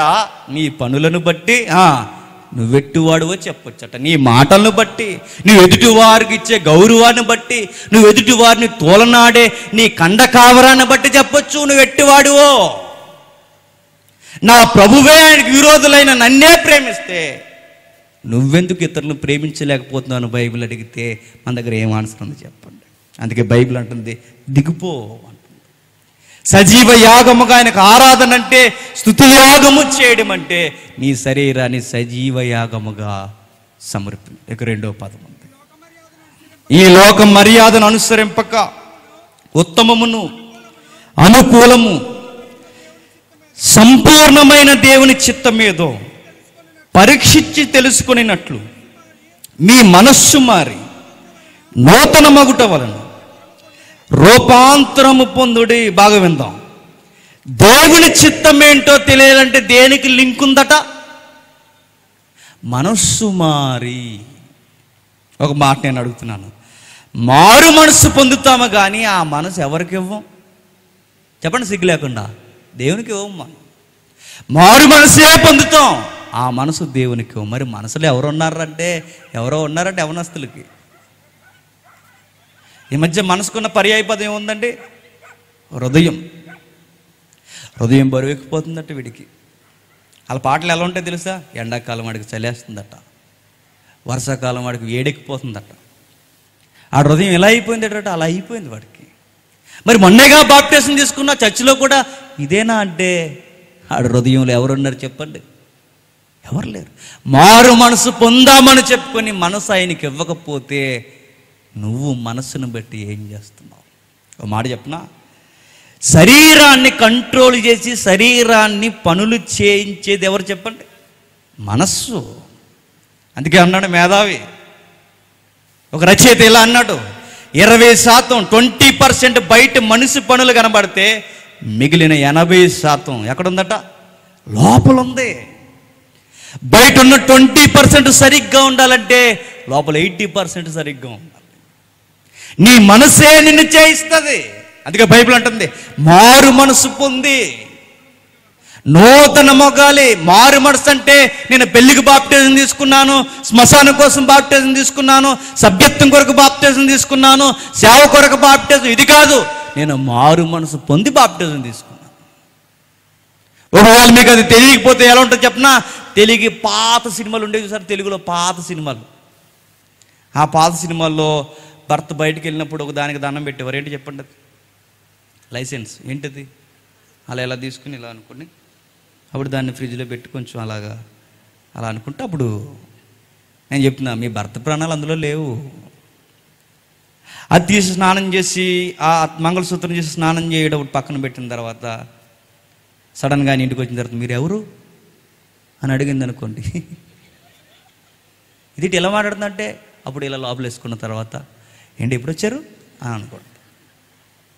మీ బంధం చెప్పండి మంగళసూత్రం కాదు. మీరిద్దరూ ఏక శరీరం ఉంది బైబిల్.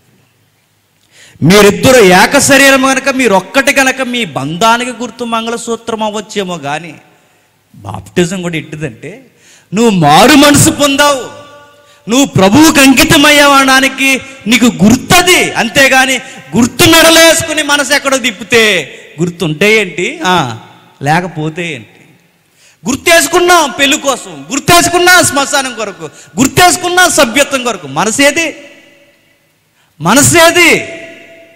నువ్వు చేసే పనులు నిన్ను సరిగ్గా నడిపించేది. నీ శరీరాన్ని కంట్రోల్ చేసేది ఏదంటే నీ మనస్సు. నీ మనసు రాత్రి వినో నీ మనసు నీ మాటినది కనుక నీ మనసుని ఎవరికి ఇవ్వాలి? నీ యేసు ప్రభువుకి ఇవ్వాలి. నీ మనసును శుద్ధి చేసేది ఆయన కనుకే నీ అంతరంగ జీవితాన్ని నువ్వు సరి చేస్తే బయట ఉన్న నీ భక్తిని అది సరి చేస్తుంది మనసును నిర్దేశిస్తే నీ బయట శరీరాన్ని మనస్సు నిర్దేశిస్తుంది. నీ ప్రభువుని మనస్సు ప్రభువుతో కలిసిపోతే నీ మనస్సు నీ శరీరం దేవునితో కలిసిపోతుంది. ఇది యుక్తమైన సేవ. యుక్తం అంటే ఏంటి చెప్పండి? తెలివైనది.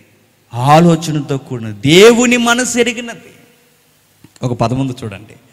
మీరు ఈ లోక మర్యాదను అనుసరింపక ఉత్తమం అనుకూలమైన సంపూర్ణమైన దేవుని చిత్తం మీద పరీక్షించి తెలుసుకునినట్లు మీ మనస్సు మారి నూతన మగుట వలన అక్కడ ఒక పదం చూడండి. దేవుని చిత్తమేదో పరీక్షించి దేవుని చిత్తమేదని అడుగుతున్నాను.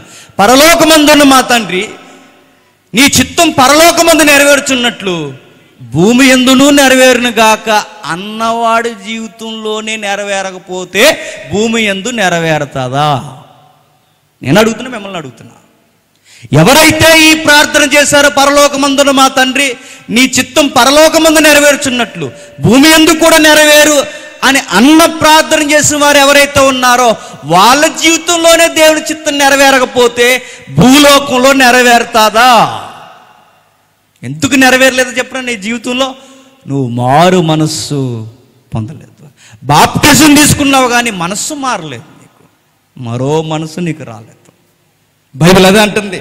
దేవుని చిత్తం భూమి మీద నెరవేరాలి అంటే ముందు నీ జీవితంలో దేవుని చిత్తం నెరవేరాలి లోకంలో సంఘంలో కుటుంబంలో బయట సొసైటీలో దేవుని చిత్తం నెరవేరాలి అంటే ముందు నీలో నీలో నెరవేరాలి. ఇది సేవ. బైబిల్ నిన్ను నన్ను సవాల్ చేస్తూ ఏమని అడుగుతుందో చూడండి. సహోదరులారా పరిశుద్ధము దేవునికి అనుకూలమైన సజీవ యాగముగా మీ శరీరములను ఆయనకి సమర్పించుకొనుడని దేవుని వాత్సల్యమును బట్టి మిమ్మును బతిమాలుకొనుచున్నాను ఇట్టి సేవ మీకు యుక్తమైనది. మీరు ఈ లోక మర్యాదను అనుసరింపక ఉత్తమము అనుకూలమైన సంపూర్ణమైన ఏంటట? సంపూర్ణ మీ శరీరాన్ని అన్ని పనుల్లో దేవునికి అప్పగిస్తుంది సంపూర్ణత. మీ మనస్సును అన్ని విధాలుగా దేవునికి అప్పగిస్తుంది సంపూర్ణత. మరో మాట చెప్తా ఒక అడుగు ముందుకేసి. మన మనస్సు మారకపోతే నేను చెప్తున్నాను. మనలో ఇంకా ఇంకా ఎవరో బతుకుంటారు ఎవరు చెప్పండి? ఆ పాత మనిషే బతుకుంటాడు ఇక. అప్పుడప్పుడు బయటకు వస్తుంటాడు చూడండి వాడు. మీ అత్తగారు మిమ్మల్ని ఏమన్నా అంటే అప్పుడు బయటకు వస్తుంది అనమాట పాత ఆవిడ. బాప్టిజం తీసుకున్నా అని చెప్పి సోయింగ్ కబుర్లు చెప్తూ తిరుగుతుందే? మీ అత్తగారు ఏమనంటే అప్పుడు బయటకు వస్తుంది. ఇదేంటి? బైబిల్ పెట్టుకుని తిరుగుతున్నాం అనుకున్నా ఎలాగైపోయాడు అనుకుంటాం అప్పుడు మా మారలా? నీ మనస్సు మారలేదని గుర్తేండి చెప్పనా? నీ ఎదుటి వారు నిన్ను హింసిస్తున్నప్పుడు నీ దగ్గర చెప్పు. ఏది తగ్గింపు? క్రైస్తవులు ఎలా ఉంటారు చెప్పనా? ఎవరేమన్నా నిజమైన క్రైస్తవులు నిన్ను ఎవరైనా బాధ పెడుతున్నారు అనుకో నిన్ను ఎవరైనా ఇబ్బంది పెడుతున్నారు అనుకో ఒక టైం నీకు స్టార్ట్ అయిందని గుర్తుపెట్టుకో. ఏంటో చెప్పినా నిన్ను బాధపట్టేటప్పుడు నీకు తగ్గించుకోవడం దేవుడు నేర్పించే ఒక టైం నీకు వచ్చిందని అర్థం. అది గుర్తుపెట్టుకో. నాకు తగ్గింపు అంటే ఏంటో నాకు తెలియాలంటే నా అనేవాడు ముందుండాలి. నన్ను ఎవ్వరు అనేవారు లేకుండా నాకు అన్ని సుఖంగా ఉన్నప్పుడు నేను తగ్గించుకుని బతుకుతున్నట్టే దానికి అర్థం లేదు. నిన్ను ఎవరు తగ్గించుకున్నారని ఎవరో అడుగుతారు లేదో నాకు తెలియదు కానీ దేవుడు అడుగుతాడు ఆయన. పాత జీవితం ఇంకా మన హృదయాల్లో బతుకున్నా ఇంకా అప్పుడప్పుడు నీకు అశ్లీల దృశ్యాలు చూడాలన్నా ఆ యావగింపు నీకు వస్తున్న వాటి మీదకి వెళ్ళడానికి. అటువైపుకి నీకు చూడడానికి వెళుతున్నా నీకు లోపల ఇంకా ఆ ఎనభై శాతం బతికే ఉందన్నమాట. నీ కోపం తగ్గలేదు నీ అశ్లీలత పోలేదు. నీ మోహపు చూపులు పోలేదు నీ అబద్ధాలు పోలేదు. మరి ఎలా బతుకుతున్నావు అంటే క్రైస్తవం అని ఒక ముసుకేసి బతుకుతున్నావు. అంతే నీ సినిమాలు పోవు నీ షికార్లు పోవు నీ లగ్జరీ లైఫ్ పోదు నీ తగ్గింపుతనం లేదు బాగా గౌరవించే తత్వం లేదు ఏమీ లేదు. నువ్వు మారేవని ఎవడన్నాడు మారలేదు నువ్వు. నేను క్రైస్తుడు అని చెప్పుకుంటూ ఒక ముసుగేసుకుని తిరుగుతున్నావు అంతే. నువ్వు మారలా? ముందు మారాల్సింది బైబిల్ చెప్తుంది మారు మనస్సు. ఏం మారాలట? మారు మనస్సు. అది సరి అయిన మనసు మారు మనసు అంటే ఒక రై- ఒక ఒక క్రైస్తవ సువార్థికుడు ఇలా అన్నాడు మారు మనసు అంటే మరో మనసు అన్నాడు ఆయన. మరో మనసు అంటే మీకు ఏదో గుర్తు రాకూడదు. మారు మనసు అంటే మరో మనసు మరో మనసు అంటే ఇక పాతది పోయింది. కొత్త మనసు వచ్చింది. పాత హృదయం పోయింది. నూతన హృదయం వచ్చింది. ఎలా ఉంటారు చెప్పినా? అరే నువ్వేనా ఒకప్పుడు అలా ఉండేవాడు ఇప్పుడు? అది సాక్ష్యం. అరే బైబిల్ పట్టి తిరిగినా అప్పుడు ఇప్పుడు ఒకలాగా ఉన్నావారంటే ఇదేం సాక్ష్యం? అది సాక్ష్యం కాదు. టెన్త్ క్లాస్లో మీ ఫ్రెండ్స్ నేను ఎప్పుడో చూసినప్పుడు ఇంటర్మీడియట్ డిగ్రీలో ఈడిగిలా ట్రిపుల్ ఐటీ స్టూడెంట్స్లా తమ్ముళ్ళ. మీ స్నేహితులు చూసిన నీకు ఒక క్రైస్తవుడు అయిన తర్వాత కొంతకాలం తర్వాత నీ స్నేహితులు నీ బంధువులు ఎవరైనా చూస్తే నా వీడు ఇంత మారిపోయాడు. అది మారు మనసు. వీడు ఎదిగినే ఇంకా బుద్ధులు మారలేదు వీడికి అన్నారు అది మారు మనసు కాదు ఇది. నువ్వు ఇంకా అలాగే ఉన్నావు. మీకు సాక్ష్యం వస్తుందా? నీ ఇరుగు పొరుగు వారి నీ స్నేహితులు నీ బంధువులు గుర్తుపెట్టుకో. వీడప్పుడు మనిషి కాదని చెప్పాలి. ఒకప్పుడు మాట అంటే పడేవాడు కాదండి. ఈరోజు ఏమి లేకపోయినా పడుతున్నాడండి మారిపోడండి వీడు. ఒకప్పుడు ఏమి తగ్గించుకునేవాడు కాదండి. ఈరోజు అన్నీ తగ్గించుకుని బతుకుతున్నాడండి. మారిపోయాడు వాడు. ఏమయ్యాడంటే మారు మనసు పొందాడు నూతన హృదయాన్ని సంతరించుకున్నాడు రూపాంతరం పొందాడు. ఏమయ్యాడట? రూపాంతరం పొందాడు. ఇరవై ఇరవై ఏళ్ళ జీవితంలో ఎనభై శాతం గుర్తుపెట్టుకోండి.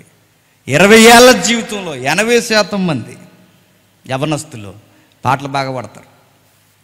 క్రైస్తవ పాటలు పాడదు అందరూ కోయిరి టీం ఎవరు ఉంటారండి? ట్వంటీ ట్వంటీ అందరూ. వాళ్ళు వచ్చి పాడుతుంటారు చూడండి ఒకడు పాడుతున్నాడు పాట ఇలాగా. ప్రియ ప్రియమైన ఏసయ్య అన్న పదం కన్నా ముందు కొన్ని పదాలు ఉంటాయండి ప్రియం ప్రియం ప్రియం ప్రియం అని. ఆడి ఫీలింగ్ ఆయన కొరకు కదట. మరి ఎవరి కొరకు? ఆడికో ప్రియం ఉంది అక్కడ. నేను చెప్తున్నాను దేవుడు చూస్తూ ఊరుకుంటాడు ఇలాంటివన్నీ నువ్వు యేసు ప్రభువుకు పాట పాడుతున్నాను ఆ పోజ్ ఎవరికి? ఆ బిల్డప్ ఎవరికి? ఈ మధ్యకాలంలో చూసారా? క్రైస్తవ గీతాల్లో యేసుప్రభు కనబడట్లేదు మరి ఎవరు కనబడుతున్నారు సాంగ్ స్టార్టింగ్ దగ్గర నుంచి ఎండింగ్ వరకు ఆయనే చూడాలి మనం తప్పదిక నేను విమర్శించట్లేదు కానీ ఏనికి ఆ పోజు దేనికి ఆ పోజు? ఎవరిని చూపించడానికి? చర్చిలో కానీ ఎక్కడ కీర్తనలో కానీ ఏ మనసుతో? బైబిల్ చెప్తుంది నన్ను చూపించుకోవాలన్న మనసు ఎంతొచ్చినది ఆరాధన కాదు.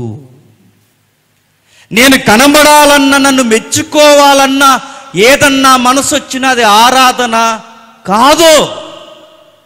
నేను ఏమి చేసినా నేను కనబడకూడదు. ఎవరు కనబడాలి? నా సిలువ వేయబడిన క్రీస్తే కనబడాలి. ఏంటండి ఎంత చేసిన సైలెంట్ అయిపోతాడు అంటే యశుప్రభు కూడా అంతే. అన్నీ చేసి ఎవరి కొరకు చచ్చిపోయాడు? ఎవరి కొరకు ఎవరైతే ద్వేషించారో వారి కొరకే చచ్చిపోయాడు. ఒక పాట ఉంటుంది చూడండి. మనుషులందరూనట ఎందుకు చంపేశారు ఆయన అంటే ఎందుకు చంపేశారంటే? ఆయన ప్రేమించాడని వారిని ప్రేమించాడని చంపేశారు ఆయన అంతే కదండి చంపేస్తా? లోకం నీకు ఎప్పుడు విరోధం అవుతుందో చెప్పినా? కలిసి చెట్టా పట్టాలు వేసుకుని సేకాండ్లు ఇచ్చేస్తే నీకు లోకం విరోధం అయిపోదు. మరి ఎప్పుడు విరుద్ధం అవుద్ది? నువ్వు వాళ్ళకలా లేనప్పుడు నీకు విరుద్ధం నువ్వు వాళ్ళకి విరుద్ధముగా బతుకుతున్నప్పుడు విరుద్ధం అవుద్ది వాళ్ళు చేసినట్టు చేయకపోతే విరుద్ధం అవుద్ది మరి నాకు ఎందుకు విరోధ భావం రావట్లేదంటే గుర్తుపెట్టుకో. నువ్వు అసలు ఆయనకిలా జీవితే ఎట్లా? ప్రభువును సిలివేసింది ఎవరంటే ఇదిగో వీరే. ఆయనకి ఆయన లేడని. వారికి ఆయన లేడని. వారికి ఆయన ఉంటే ఆయన చంపిద్దరే చెప్పండి? చంపరండి. బైబిల్ ఉటంకిస్తూ ఒక మాట ఉంది. నువ్వు నిష్ఠగా గరిష్ట నిష్ఠ గరిష్ట కలిగి బతికితే క్రైస్తవ కోడళ్ళు అయితే మీకు విలన్స్ ఎవరవుతారట? చెప్పండి బైబిలే చెప్పిందిగా? అది మ్యాటర్.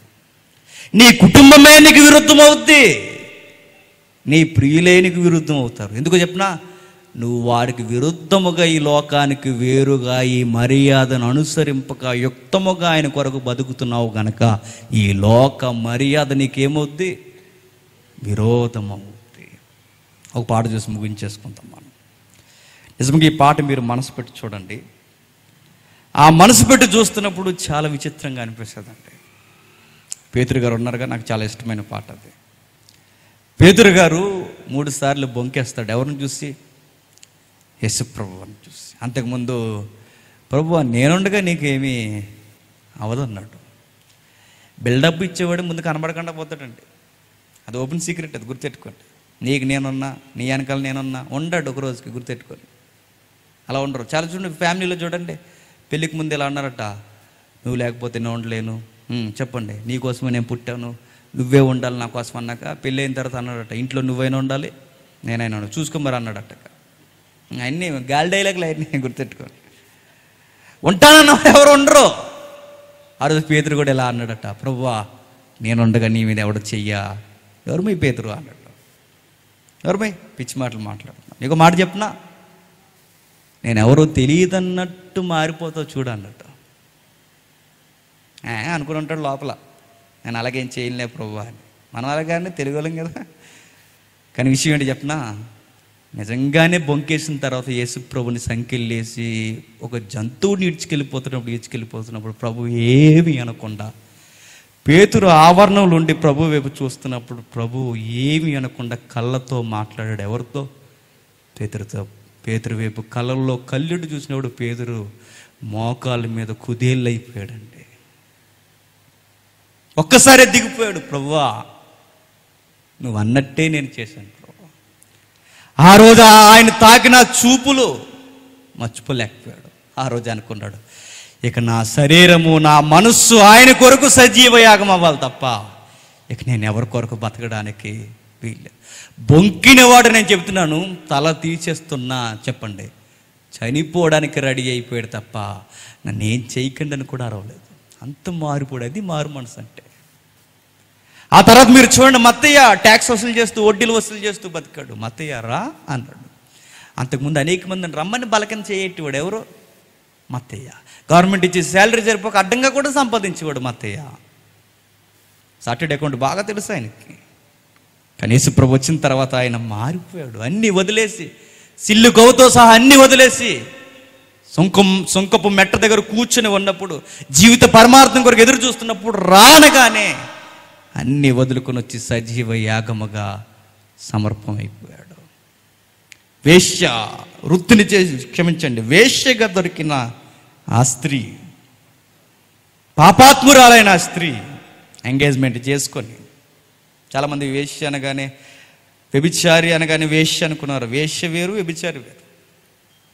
వేష్య అనగానే అదే వృత్తిలో బ్రతకడం. వ్యభిచారం అంటే పెళ్ళి అయిపోయి పనికి మానేసలేడు ఈ అమ్మాయికి ఎంగేజ్మెంట్ అయింది. ఆ యోహన్ సువార్త ఎనిమిదో అధ్యాయంలో ఉన్న అమ్మాయి. ఎంగేజ్మెంట్ అయిన తర్వాత ఒకరితో ఎంగేజ్మెంట్ చేసుకుని మరొకరితో తప్పుడు దిల్లు తిరిగేసి పబ్లిక్లు దొరికేసింది. తీసుకెళ్ళి రాళ్ళు ఇచ్చి కొట్టడానికి రెడీ అయిపోయారు ఆ రోజు. నీతిమంతులని ఫీల్ అవుతున్నారు వాళ్ళు. ఆ టైంలో యేసుప్రభు వచ్చి ఆమె చేయబట్టుకొని నీకెవరూ శిక్ష విధించలేదా? నేను కూడా నీకు శిక్ష విధించను. ఇంకెప్పుడు పాపము చేయకు. మారిపోయింది ఆ రోజు. ఆ తర్వాత ఇంకెవరిని చూస్తారో మీరు చూడండి. శిష్యుల్లో ఎవరిని కదిపినా వారు యేసుప్రభుని అర్థం చేసుకున్న తర్వాత ఇక మరలా ఇక ఏ తప్పులు వారు చేయలేదు. చచ్చిపోయారు ఆయన కొరకు. నా గుండెలు పిండేసి ఈ పాటలో చివరి దృశ్యం ఏంటో చెప్పిన? ఒకప్పుడు పొగరబోతు ఒకప్పుడు సొసైటీకి చీడ వంటి వాడు ఒకప్పుడు సొసైటీకి ఉగ్రవాది లాంటి వాడు అట్టి వాడు మారిపోడాయనే అపోస్తుడైన పౌలు. ఎవడన్నా ఏదన్నంటే తాకీదులు తెచ్చి మరి నరికేసేవాడు. కొత్త జీవోలు చేయించి క్రైస్తవ్యాన్ని లేకుండానే చేసేద్దాం అనుకున్నాడు. అట్టి వాడు మారిపోయిన తర్వాత ప్రభు కొరకు రోమా ప్రభుత్వం చంపేయడానికి రెడీ అయిపోయాడు. వలన క్రైస్తవ్యం రోజు రోజుకి పెరిగిపోతుందని నిర్ణయం తీసుకున్నప్పుడు. ఇక రేపే నిన్ను చంపేస్తున్నారన్నప్పుడు ధైర్యపు గుండెతో దుఃఖం మీద తలబెడుతూ ఆయన చూపులు ఎక్కడ చూసే తెలుసా? ప్రభువా బ్రతుకుడు క్రీస్తే చావేస్తలా. బ్రతికితే మీ కొరకు వెళ్ళిపోతే ఆయన కొరకు. నాకు ఎక్కడ ఉండడం కన్నా అక్కడ ఉండడం ఇష్టమని చనిపోతున్నప్పుడు ఆయన చూపులు పరదేశకు వెళ్ళిపోతున్నట్టుగా తలక ఇచ్చేసాడండి ఇది సజీవ యాగము అంటే. చూడండి ఒకసారి ఈ పాట చూడండి చివరి ప్రార్థన చేసుకుందాం. ఈ పాట చూడండి. అవుతుందా?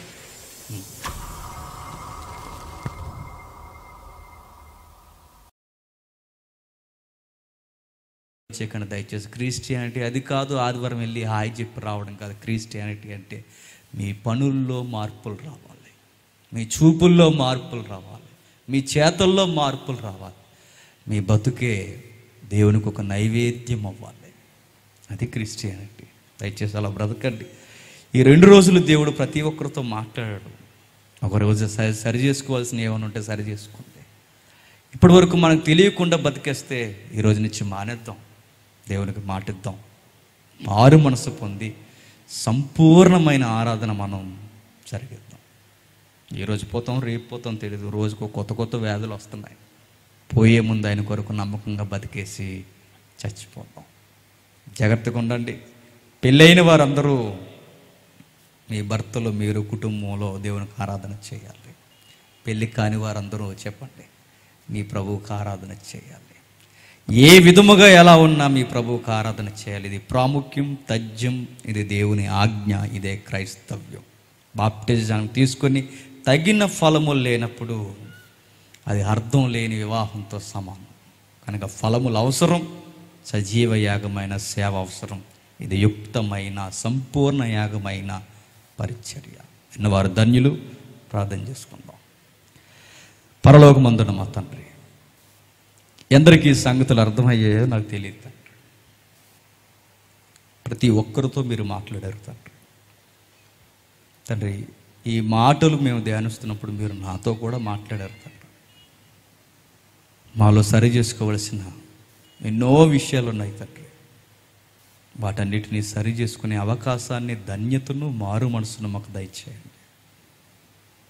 తండ్రి ఎవరిని మేము ఏమీ అనకుండా తండ్రి మీ కుమారుడు చేసిన బలియాగానికి తగినట్టుగా జీవించడానికి మాకు సమయం లేదు తండ్రి ఆ సమయం మీద మేము గురిపెట్టి బ్రతకడానికి మాకు సహాయం అనుగ్రహించండి మాకు అన్యాయం చేస్తున్న వారిని కూడా దీవించేంత మనస్సును మాకు దయచేయండి.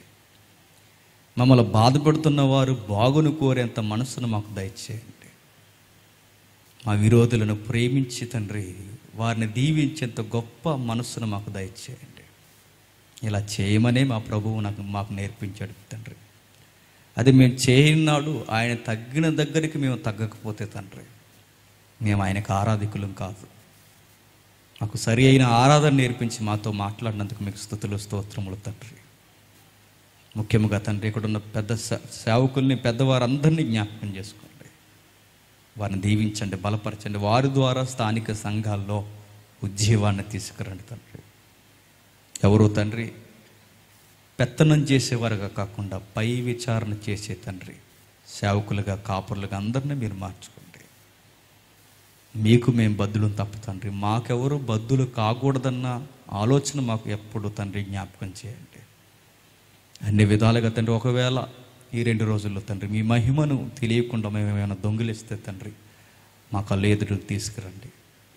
మాకు మారు మనసును దయచేయండి. మమ్మల్ని మేము మరుగు చేసుకునే శక్తిని మాకు అనుగ్రహించండి. వేదిక మీద ఉన్న పెద్దవారిని ఏది కింద ఉన్న ప్రతి విశ్వాసిని తండ్రి మీ చేతులకు అప్పగిస్తూ బలపరిచి స్థిరపరిచి తండ్రి. అర్థవంతమైన జీవితాన్ని నైవేద్యముగా మలుచుకుంటారని కోరుతూ సమస్త మహిమ ఘనత మీకే ఆరోపిస్తూ మరుగై ఉండిపోయిన సహోదరుల్ని ప్రత్యక్షంగా పరోక్షంగా తండ్రి సభల కొరకు కష్టపడిన వారిని తండ్రి మీరు అన్ని విధాలుగా దీవిస్తారని కోరుతూ క్రీస్తున్నామని ప్రార్థన సమర్పిస్తున్నాము తండ్రి. ఆమె సెలవు.